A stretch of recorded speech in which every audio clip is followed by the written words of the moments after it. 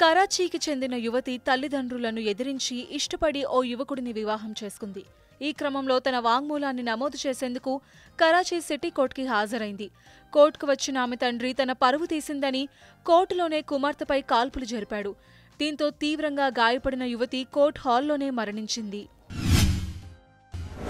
జైపూర్లో హృదయ విదారకర ఘటన వెలుగుచూసింది గుర్తు తెలియని యువకుడి మృతదేహాన్ని ఆటోలో తరలిస్తున్న దృశ్యం అందరినీ కలిచివేసింది. ప్లాస్టిక్ కవర్ కప్పిన తలభాగం బయటకు చొచ్చుకొచ్చేలా మృతదేహాన్ని రిక్షాలో వేశారు. కాళ్ళు కూడా ఆటోలో నుండి కిందకు వేలాడుతున్నాయి.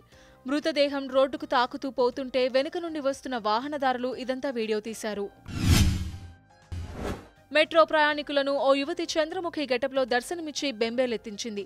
భూల్ బులయ సినిమాలోని ముంజలిక పాత్రలో దుస్తులు ధరించి జుట్టుని ముఖంపై వేసుకుని బిత్తర చూపులు చూస్తూ ప్రయాణికుల్ని భయపెట్టింది. ఓ వ్యక్తి భయంతో ముందుకు పరుగుతీశాడు యువతి ప్రవర్తనపై నెటిజన్లు మిశ్రమ స్పందన ఇస్తున్నారు. రష్మిక తనపై వస్తున్న విమర్శలపై తాజాగా నోరు విప్పింది. నిజంగా నాతో ఏదైనా సమస్య ఉంటే అదేంటో నాతో స్పష్టంగా చెప్పండి వింటా. అంతేకాని తప్పుడు కూతలొద్దు. అవి నన్ను నా కుటుంబాన్ని మానసికంగా బాధ పెడుతున్నాయని ఆవేదన వ్యక్తం చేసింది.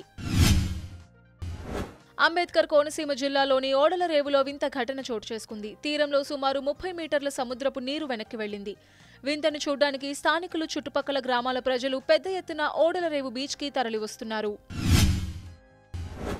నాగర్ కర్నూలు జిల్లా జనరల్ హాస్పిటల్ బాత్రూంలో మృతి చెందిన శిశువు కలకలం సృష్టించింది.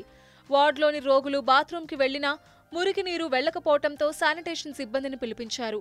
ఈ క్రమంలో ఒక్కసారిగా మృత శిశువును చూసి కంగు తిన్నారు. విషయం ఆసుపత్రి సిబ్బందికి తెలియటంతో ఆరా తీయటంతో గుర్తు తెలియని మహిళ ఈ పనికి పూనుకున్నట్టు అనుమానిస్తున్నారు.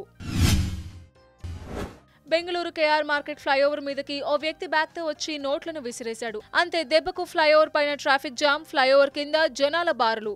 తాము వెళుతున్న పని మర్చిపోయి మరీ ఫ్లైఓవర్ పై నుండి జారుతున్న నోట్ల కట్టలను పట్టుకునేందుకు నిలబడిపోయారు.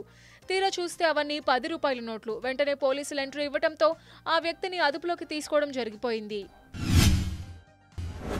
చైనా జనాభాలో ఇప్పటికే ఎనభై శాతం మందికి కరోనా సోకిన నేపథ్యంలో ఇప్పట్లో రెండో వేవ్ వచ్చే అవకాశం లేదని దేశ సీడీసీ అంటువ్యాధుల నిపుణుడు వూ జున్యూ వెల్లడించారు. అయితే కొత్త సంవత్సరం సెలవుల వేళ దేశంలో వైరస్ విస్తరించే అవకాశం ఉందని చెప్పారు. భారత ఫాస్ట్ బౌలర్ మహమ్మద్ షమీకి కోర్టు షాక్ ఇచ్చింది. తన మాజీ భార్య హసీన్ జహాన్కు షమీ నెలకు లక్ష ముప్పై వేల రూపాయల భరణం చెల్లించాలని కోల్కతా కోర్టు ఆదేశించింది.